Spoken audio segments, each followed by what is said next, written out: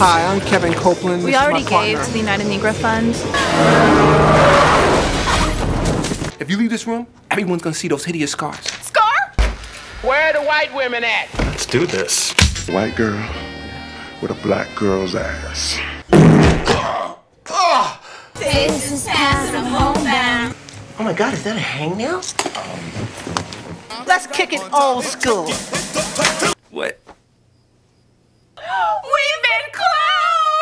You're both fired. Time to totally kick ass. My turn. Like Martha Stewart broke? Or MC Hammer broke? MC Hammer broke. But you are not Yeah, I'm not a woman. white? Oh, the, the deception! We're gonna all get together and we're gonna go. Thank